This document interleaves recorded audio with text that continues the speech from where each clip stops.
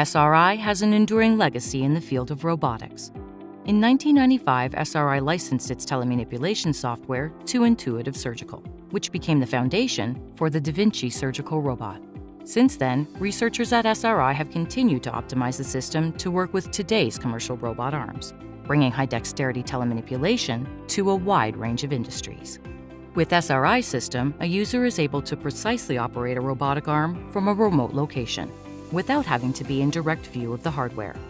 The 3D camera system and advanced vision technology integrated with the VR headset allow the operator to manipulate the arm as if they were there in the workspace together.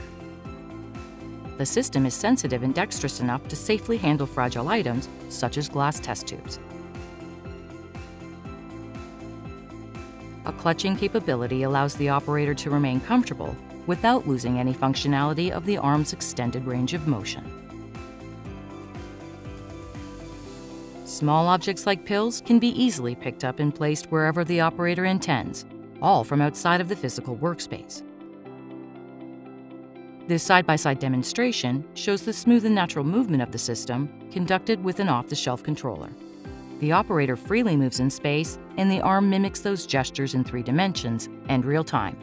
The software is compatible with third-party robot arms and can integrate safety and collision controls according to specific customer needs.